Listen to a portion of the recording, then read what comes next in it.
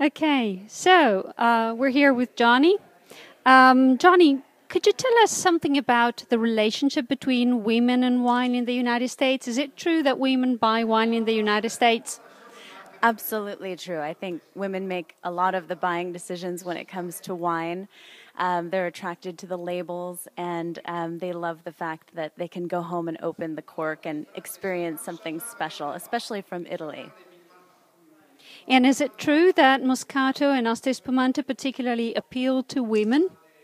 Absolutely. It's, it's fun, it's fruity, it's bubbly. I think that um, when women get together to uh, to chat and hang out. You know, there's no reason not to open a bottle of Moscato d'Asti. Very little alcohol, lots of fun. You can drink it cold, and it's it's definitely a celebration wine. So, what would you suggest in terms of developing the women's side of the Moscato and Asti market?